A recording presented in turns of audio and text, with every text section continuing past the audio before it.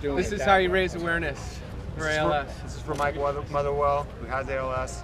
I'm challenging John Speraw, Mike Wall, and Anton Willett. Donald Sun, Mia Hamm, and Nomar Farah. Um, Jake, this is for you, buddy. AVP, this is for you. Here we go. Challenge accepted. Two, Three. Oh, that is a meeting. Come on up here to water my face. Here we go.